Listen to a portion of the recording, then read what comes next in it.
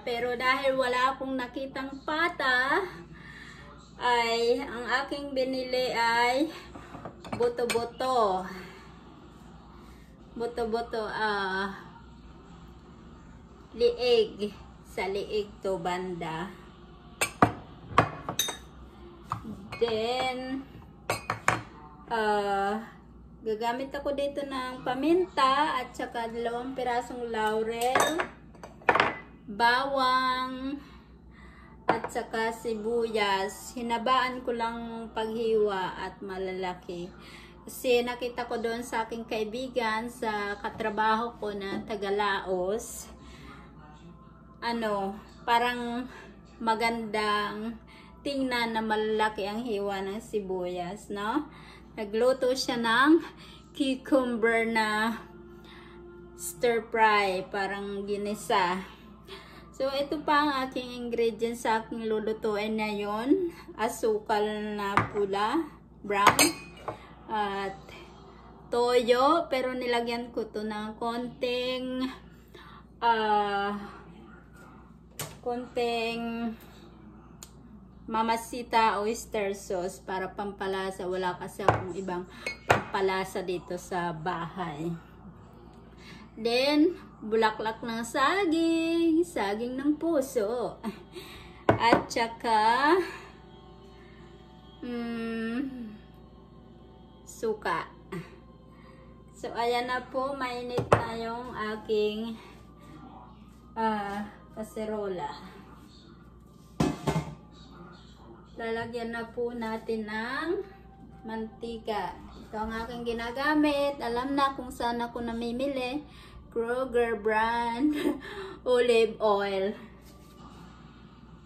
Ah.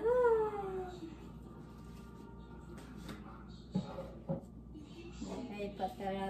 So, mainit na painit na po ang aking kaserola. Kaya inalis ko siya. Baka pum, pum, pumitik yung mantika. Ilalagay ko na po ang bawang. Ay, hindi pala ito bawang. Sibuyas. Namiss ko mag-video-video kaya ah, gumagawa ako ng video. Baka magustuhan nyo rin yung ganitong luto. Hindi naman ako magaling magluto. Pero para sa akin masarap luto ako.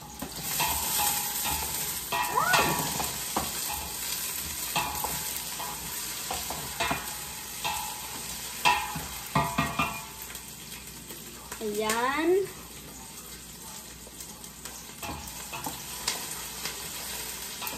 Akin nang ilalagay ang aking garlic.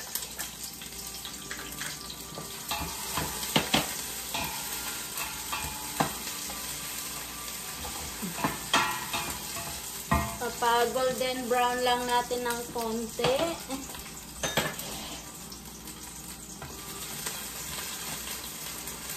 feeling cook. Then, ilalagay ko na ang meat. Ito ay binanlian ko na siya kasi ayaw ko nung may dugo-dugo at saka yung bula pag nilaga ayaw ko yan. Yan.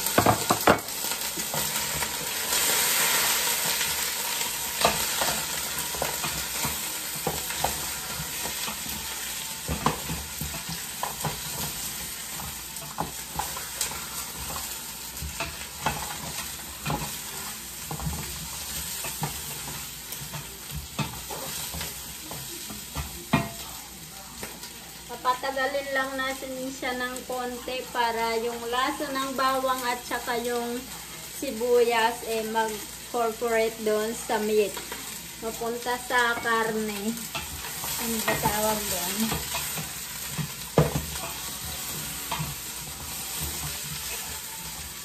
Yes, ayan dahil ang aking meat ay parang dry na kasi nilaga ko na siya. Kailangan lalagyan ko na siya ng tubig at palalambutin.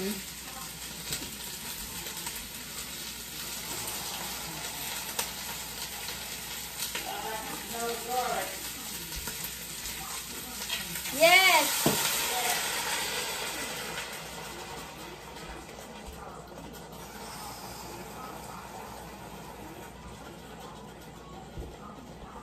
Tansya-tansya lang to guys. Dalawang ganito maliit na mangkot.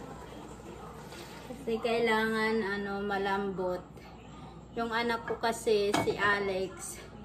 Hindi siya mahilig kumain ng meat lalo na pag medyo chewy siya. Kaya kailangan full of sabon. Yung malambot na malambot talaga. So, tatakpan muna natin, no? Itong niluluto ko ay almusal namin to bukas. Mayroon na akong kanin doon. Doon. Yan, doon sa rice cooker. Para pagising ko bukas ay konting linis lang ako dito sa bahay. Tapos, Gigisingin ko na yung mga bata para maghanda din papasok sa school.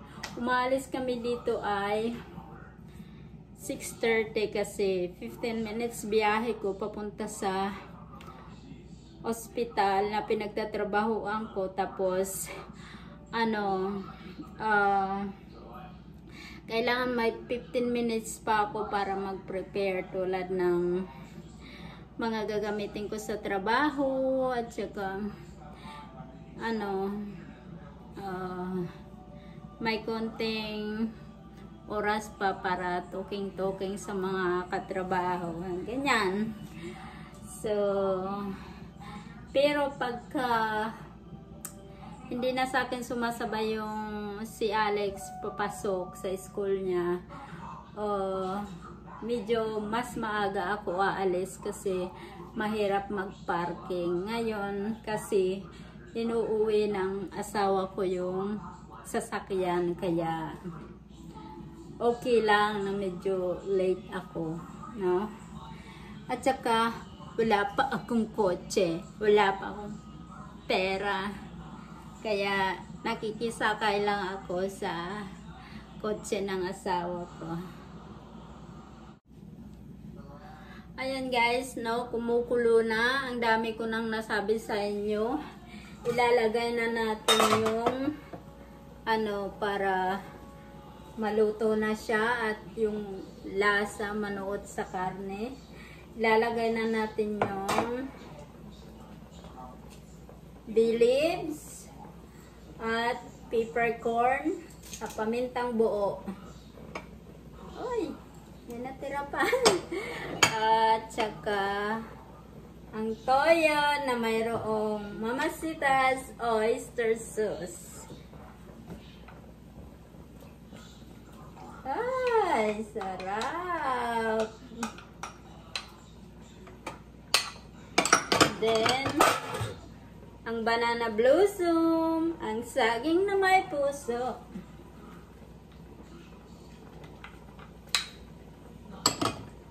At ang sugar. Iuhuli natin ang suka kasi baka manigas yung bulaklak ng saging. Nga pala, bago ninyo lutuin ito, kasi yung bulaklak ng saging ay tuyong tuyo yan, kailangan ibabad nyo para medyo lumambot. No?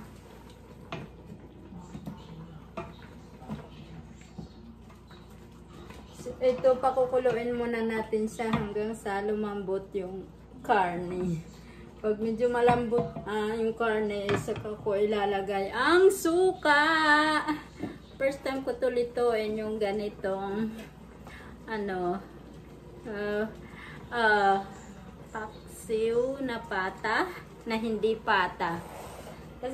Dati nagluluto ako sa Pilipinas talaga ng paksiw na pata pero dito mahirap mamili ng mga ingredients ng panglutoing Pilipino kasi dapat pumunta ka sa Asian Store or Filipino Market. So, ang layo-layo dito ng Filipino Market, nasa Laverne, mga 1 hour ang biyahe mula dito sa bahay. Mabilis pa yan, ha? Na nakakatamad, no? Nakakatamad. Saka pag pumunta ka doon sa Filipino Market, marami kang gustong bilihin, kaya hindi ako madalas mong punta doon. Pero babalik ako doon kasi magtutunong ako tungkol sa kanilang balikbayan box, na? Gusto kong mag-send ng love sa Philippines. You know.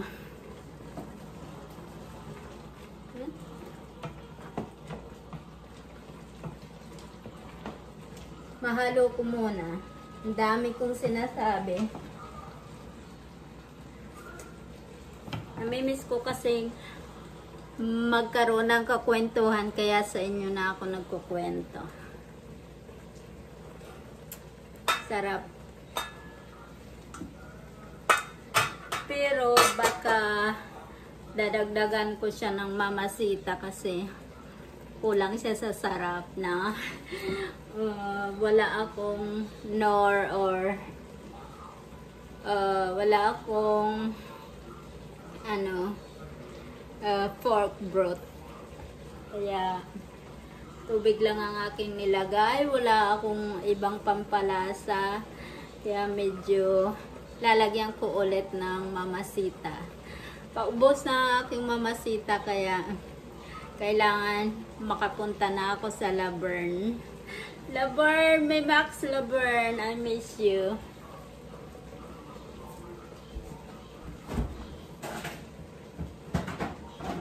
So, bago ko pa makalimutan, ayan. Ayan, konti-konti na lang ang aking mamasita, ang malaking bote na dumadayo ako doon para lang bumili ng pangsigang at patis, mamasita, pansit. Yan.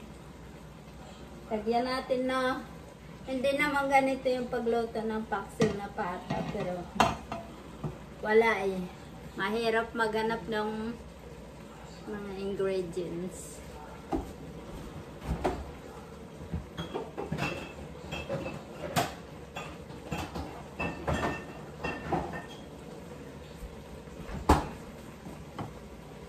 Haluin lang po natin.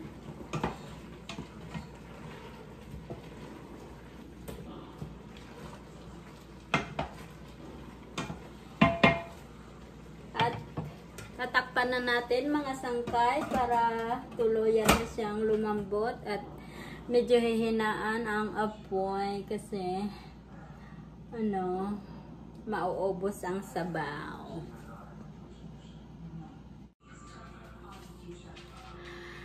Ayan guys, luto na ang aking imbentong paksiw na pata na buto-buto. Tadan! Ano sa palagay nyo? Ito ba ay masarap? Ah, sarap! Palalamigin ko lang to at ilalagay ko sa ref para bukas eh, pagkakain na kami ay iinitin na lang sa mic- microwave. Bye-bye! See you on my next video. Welcome to my life! Kung nagustuhan mo ang video, like and share! And huwag kalimutan mag-subscribe